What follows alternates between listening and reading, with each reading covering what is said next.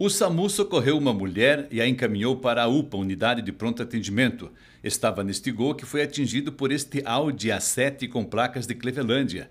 De acordo com populares, o Audi perdeu o controle na avenida, colidiu com o Gol com placas de Vitorino e danificou quatro conjuntos de floreiras. Ainda de acordo com testemunhas, o motorista do Audi, com sinais de embriaguez, tentou deixar o local, mas foi contido por populares.